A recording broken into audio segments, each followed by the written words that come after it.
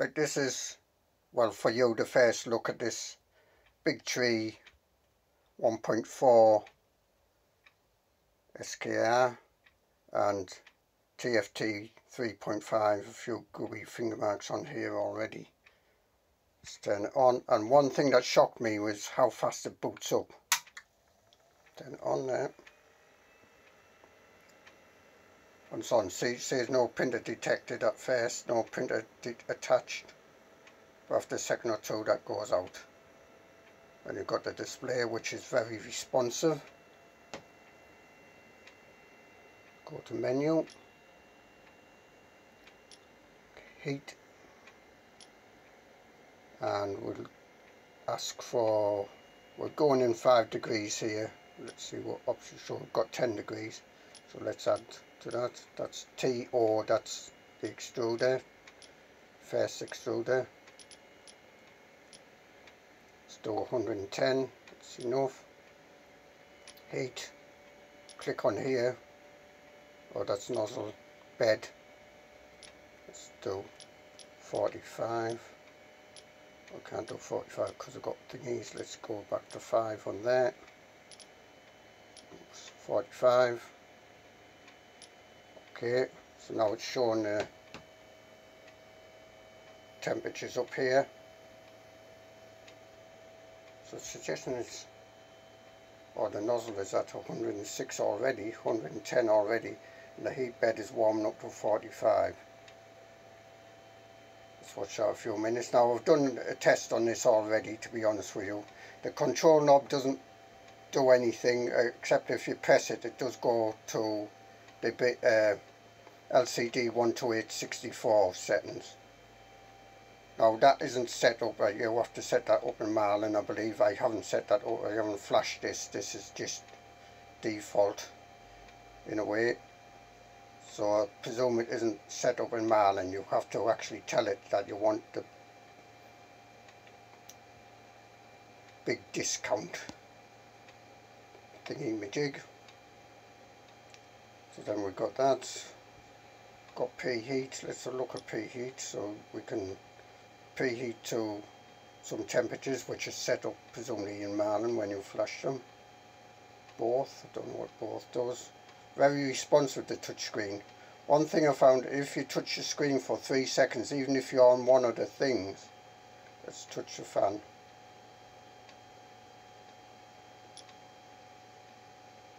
So it, go, it goes to a choice whether you want the touch screen or the Marlin mode. Marlin mode isn't working at the moment because as I say that needs setting up. And you can press the something coming on there actually like a small signal coming on there and you can press the button for about three seconds. Let's look at some of the movements. Oh let's put the fan on. So we got pulse width modulation on the fan and we can decrease, we can say full and that's the part fan there. That's come on full let me decrease it. You can't see this but it's on 80 it's going down so I have to keep jabbing at the screen. This is one of the disappointments with it because I have to jab and then let go like tap at the screen. 50% that's about half speed. At least it is same percentage. It's not saying the pulse width measurement. F0, fan 0, 26, 25, 20% now. Oh, well, you certainly should, you might get some strobing on here. Because it has started, 9%, because it has actually started, uh, it might keep going to quite low speed. 8%, I can definitely see slowing down. 7, 5, and it's stopped.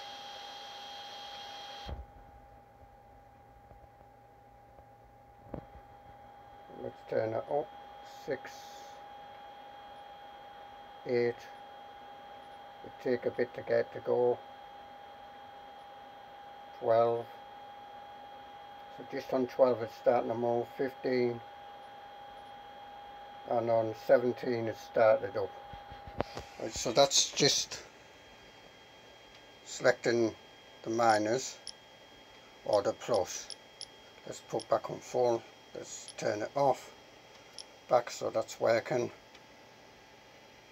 I've got like FR which nobody understands that I know. It's no it's not flow rate. It's sort of the overall speed. Let's go to menu movement. I'm not going to do home because I'm sure I've just wired up the BL touch now and I don't know how, how reliable that is. So let's do this. Let's do Z um, Y towards us just now and again we can ask the distance. Oh that's going away.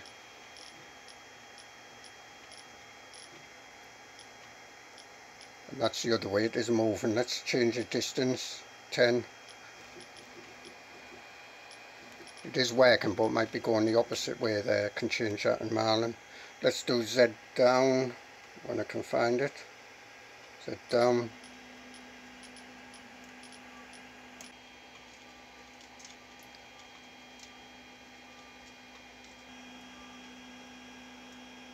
let's X. X right. Won't do it until it's uh, finish going down. So going down.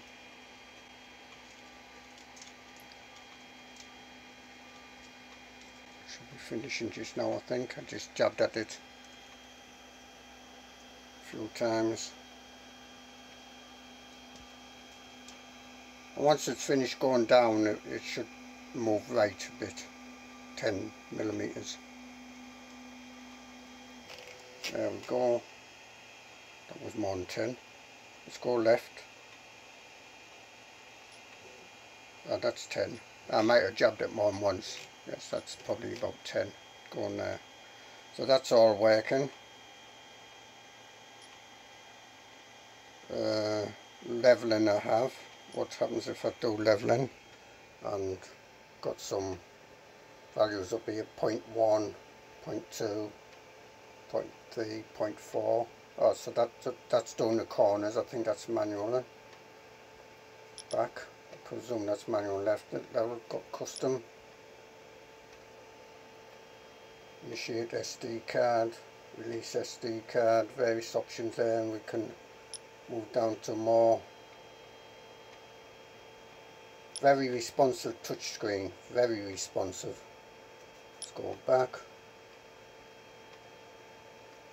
go on custom again oh yeah we've got G code so we can enter G code commands directly presumably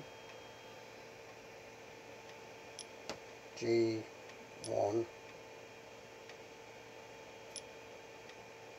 uh, where's X X let's do 50 oops no let's no no no no no still.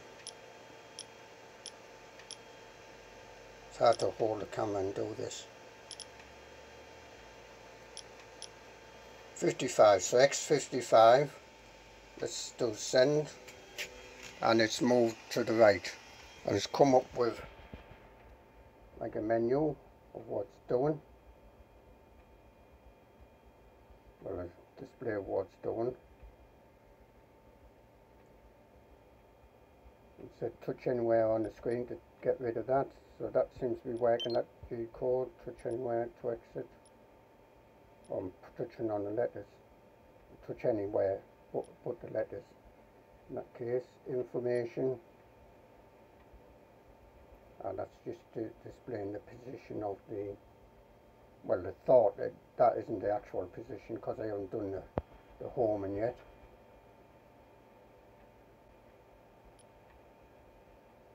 Heat and fan. So I've got various settings there. Heat. Bed. Let me feel the bed. Yes the bed is pretty warm. Not going to touch a nozzle I'll burn myself I know it works. I know the extruder works because I have done this. So ah, we've got extrude, got emergency stop notice. Sorry about reflections here. It's hard to see in this camera. We've got um, more movement move I wonder if I can Z. So we've got Z minus, Z positive over here. And we can change how far it's going to go. 0.1, 1 and 10. Yeah, 0.1, 1 and 10.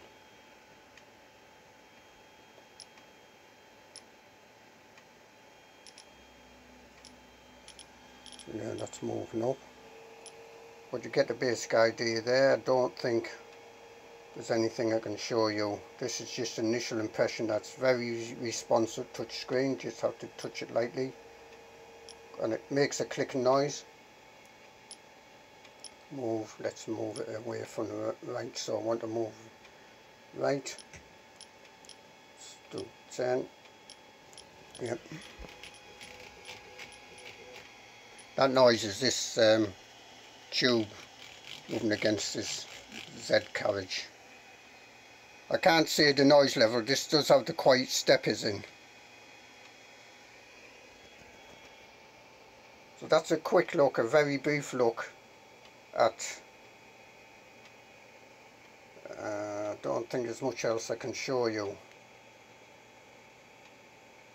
Let's go back go back go into custom.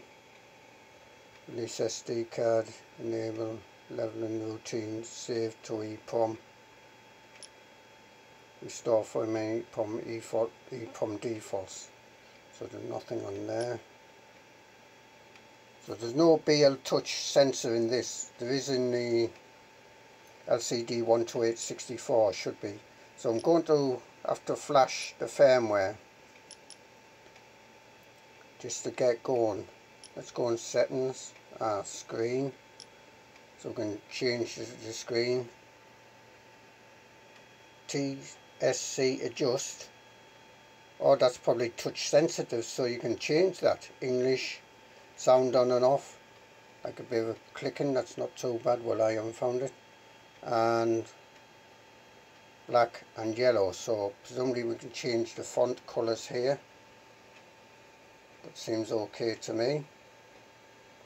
Rotate the screen if it's upside down if you've got this knob on the other side. Back, features, hide terminal acknowledgement, invert XY, ah so we can invert XY under here, auto power, move at high speed normal filament sensor off. Well I want filament sensor on but that'll be under firmware anyway. Encode after print. Persistent state info. Can go down more. Yes can go down more. File viewer list mode. So presumably you have a choice of what's choice uh, just to turn it on and off I think. LCD brightness well it's bright enough for me. LCD brightness dim idle timer off so you can ask the presumably the display to go off after a certain time. Marlin mode and full screen yes I'm going to select that.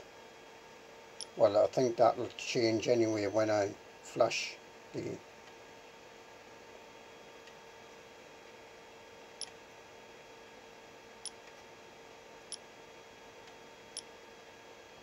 and settings reset. Info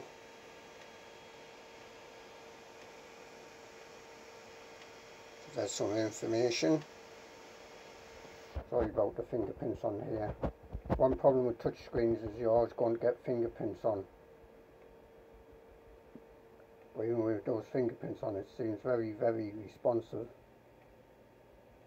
Touch anywhere to exit UART speed which is recommended to be uh, 115 whatever it is. Ah see so it's doing it down here. It's not changing it over here which is a bit of a thing because your finger might be going over like this. But see it's changing that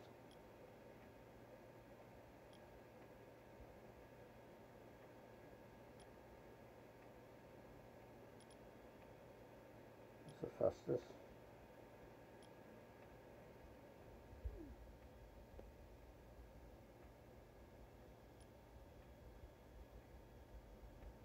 hard to not get reflections in here. Every time I'm pressing it, it's changing the UART speed. I'll leave it on that. That seems to be setting and we've got disconnect. Screen, machine, let's do machine. Uh, so we've got custom, LCD colour, G-code shutdown and parameters. What's the parameters? steps per millimeter so we can adjust all of those on the screen bump sensitivity that's if you've got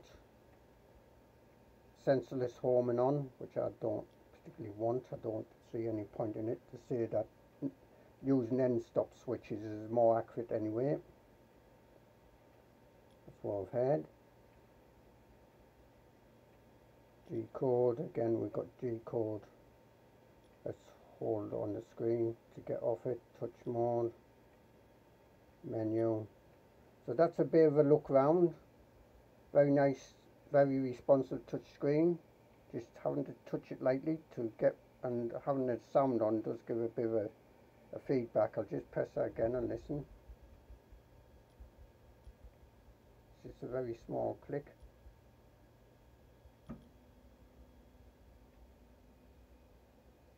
that going up. Right, that's enough of that I think. I'm going to reflash the firmware and we'll see if stuff improves.